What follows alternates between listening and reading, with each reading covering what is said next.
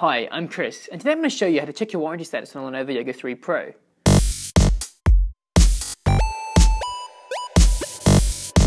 So it can get hard keeping on track of where your warranty exactly is. And um, you have your standard warranty, you might have added extra years with Lenovo as well. And today I'm going to show you how to find out exactly how many days you have left.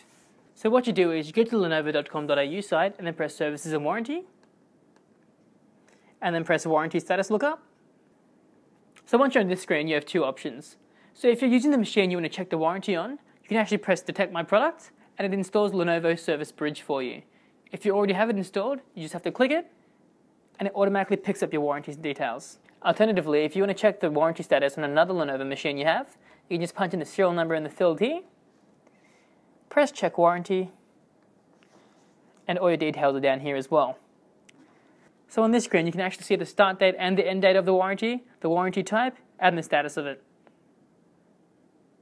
If you're not sure what the serial number of your machine is, you can generally find it on the sticker on the back of the machine or somewhere near the bottom.